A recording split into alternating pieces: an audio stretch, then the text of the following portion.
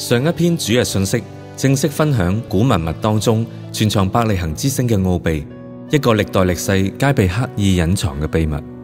十点有关埃及金字塔之谜。第一点，基實金字塔系为耶和华作证据嘅柱子。古埃及基實金字塔系依照猎户座喺一万七千年前嘅形态所造成嘅。每个金字塔都系依照人类肉眼所睇到天上猎户座嘅光度比例而建造嘅。第二點，獅身人面像喺整個星圖當中指向獅子座最光嘅星 Regulus。獅身人面像代表獅子座，同金字塔係同期建造。佢同獵戶座形成嘅角度大約四十五度，指向銀河另一邊獅子座最光嘅星 Regulus。第三點，尼羅河亦都係星圖嘅一部分。獅身人面像指住獅子座，因為獅子座距離獵戶座非常遠。冇可能建喺代表獵戶座嘅基實金字塔旁邊，所以只能夠以指住嘅方向嚟到導向出獅子座，而旁邊嘅尼羅河代表天上嘅銀河。第四點，基實金字塔代表獵戶座，上邊係天狼星。從尼羅河北方第一個金字塔，基實金字塔上方代表大犬座天狼星嘅金字塔，就係、是、星圖嘅開始。到南方最後一個金字塔，代表大犬座 Canis Major。亦都代表咗完整嘅三百六十度嘅银河，等于将一个纸筒放平，分为上下，而未展开之前，嗰、那個展口其实喺同一个位置。第五点，基石金字塔下方所代表嘅就系七姊妹星同埋其他嘅星群。基石金字塔代表猎户座，下方就系七姊妹星同其他星群。所有金字塔嘅大小系依照天上同样位置最明亮星群而建造嘅。第六點，尼羅河上金字塔星圖，並唔係按住天上星宿之間嘅距離比例而建造嘅。如果七姊妹星下方嘅星，即係橙色部分，對比銀河係正確比例的話，七姊妹星嘅對應金字塔綠色部分就係放大咗八倍啦。呢、個代表咗七姊妹星嘅金字塔先至係整個星圖嘅主角。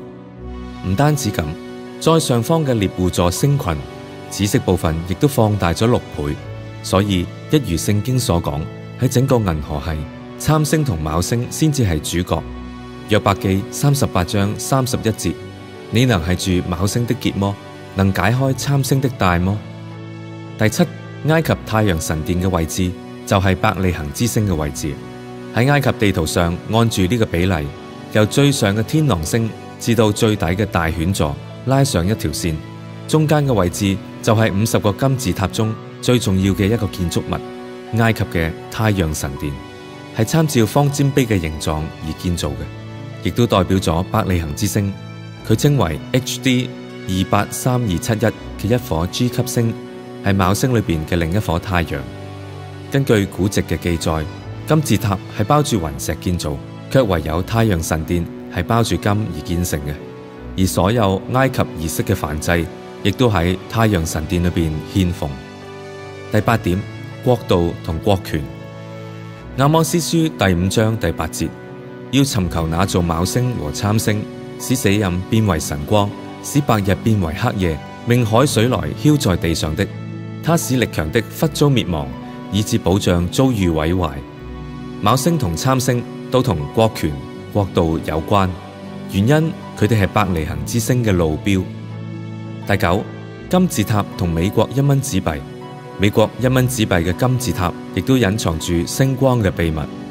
第十點，埃及金字塔星圖對比火星面具同華盛頓地圖。伯利行之星自古以嚟都有方法揾到出嚟嘅，就係喺金牛座杯上，佢嘅形狀好似牛腿嘅七姊妹星所指向嘅方向，再加上以獵戶座嘅三火星拉成一直線，嗰個交叉點就係伯利行之星嘅所在。而塞多尼亞亦都係一張星圖，火星面具嘅位置就係一萬七千年前百里行之星嘅位置，遠比人造衛星喺一九七六年探訪火星之前嘅一九五八年，已經有人知道火星面具嘅秘密，亦都將佢畫成漫畫。根據羅馬文字，金字塔呢個字亦都係火星土丘嘅意思。同樣，華盛頓嘅設計亦都係一張星圖，而方尖碑嘅位置。正係百利行之星嘅位置。